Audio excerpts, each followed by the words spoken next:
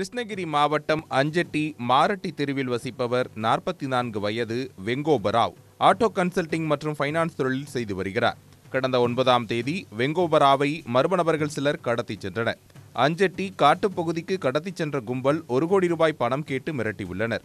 இறுதியில் கடத்தல் கும்பலுக்கு பத்து லட்சம் ரூபாய் கொடுத்ததை அடுத்து வெங்கோபராவ் விடுவிக்கப்பட்டார். தம்மை அஞ்சட்டி அருகே உள்ள மலிதிக்கி கிராமத்தைச் சேர்ந்த கிருஷ்ணன் மகன் கணேசன் ஏரிக்கோடி கிராமத்தைச் சேர்ந்த பாலசுப்பிரமணியம் மகன் சக்திவேல் பாண்டுரங்கன் தொட்டி கிராமத்தைச் சேர்ந்த மாதன் மகன் சக்தி ஆகியோர் காரில் கடத்திச் சென்று பணம் பறித்ததாக அஞ்சட்டி காவல் நிலையத்தில் வெங்கோபராவ் புகார் அளித்தார். அதன் பேரில் போலீசார் வழக்கு பதிவு செய்து கடத்தலில் ஈடுபட்ட கணேசன் சக்திவேல் சக்தி ஆகிய மூவரை கைது செய்தனர். அவர்களிடமிருந்து ஐம்பதாயிரம் ரூபாய் பணம் மற்றும் கடத்தலுக்கு பயன்படுத்திய கார் ஆகியவற்றை போலீசார் பறிமுதல் செய்தனர். கைதான கடத்தல்காரர்களை தேன்கனிக்கோட்டை நீதிமன்றத்தில் ஆஜர்படுத்திய பிறகு ஓசூர்கிள்ளை சிறையில் அடைக்கப்பட்டனர். இதேபோன்று திருச்சியைச் சேர்ந்த அறுபத்தி ஐந்து வயது சித்த மருத்துவர் யோகநாதன் என்பவரையும் திண்டுக்கல்லைச் சேர்ந்தவர்கள் கடத்திச் சென்று பணம் பறித்துள்ளனர். இலங்கையைச் சேர்ந்த யோகநாதன் ஐம்பது ஆண்டுகளுக்கு முன்பே இந்தியா வந்து விட்டார். இங்கு சித்த மருத்துவராக உள்ள அவர் யூடியூப் மூலம் சித்த மருத்துவ ஆலோசனையை வழங்கி வருகிறார். அவரை விருதாச்சலத்தைச் சேர்ந்த சசிதரன் என்பவர் தொடர்பு கொண்டு பேசியுள்ளார். திண்டுக்கல் மாவட்டம் ஐயம்பாளையம் அருகே வசிக்கும் தனது தாத்தாவுக்கு உடல்நிலை சரியில்லை என்றும் நேரில் வந்து சிகிச்சை அளிக்க முடியுமா என கேட்டுள்ளார்.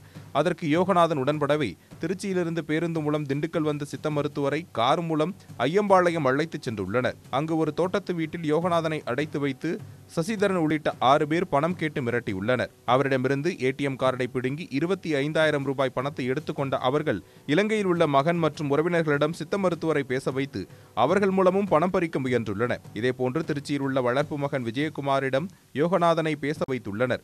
தந்தை பதட்டமாக பேசுவதை அறிந்த விஜயகுமார் அது குறித்து திண்டுக்கல் மாவட்ட காவல் கண்காணிப்பாளரை தொடர்பு கொண்டு தெரிவித்துள்ளார். இதையடுத்து கடத்தல் கும்பல் கேட்ட பணத்தை கொடுப்பது போன்று நடித்து அவர்களை பிடிக்க வியூகம் வகுக்கப்பட்டது. அதன்படி கடத்தல் கும்பலை தொடர்பு கொண்ட விஜயகுமார் நீங்கள் கேட்ட பணம் தயாராக உள்ளது. எங்கு எடுத்து வர வேண்டும் என கேட்டுள்ளார். அதற்கு செம்பட்டி கிராமம் வரும்படி கூறவே கூடவே போலீசாரும் சென்று மறைந்திருந்தனர். பணத்தை பெற வந்த சசிதரனை போலீசார் பாய்ந்து பிடித்து கைது செய்தனர். அவர் பிடிபட்டது அறிந்து தப்ப முயன்ற கூட்டாளிகள் கேசிப்பட்டியைச் சேர்ந்த மணிகண்டன் திருப்பூரைச் சேர்ந்த கோபி நாகையைச் சேர்ந்த நாகராஜ் ஐயம்பாளையத்தைச் சேர்ந்த ஜெயராமன் ஆகிய நால்வரையும் கைது செய்தனர். மேலும் இருவர் தப்பிவிட்டனர். பின்னர் அங்கு சிறை வைக்கப்பட்டிருந்த சித்த மருத்துவர் யோகநாதனை போலீசார் மீட்டனர்.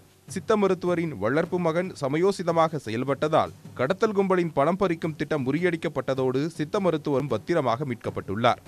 உடனுக்குடன் செய்திகளை தெரிந்து கொள்ள சன் நியூஸ் பெல் ஐக்கான கிளிக் பண்ணுங்க.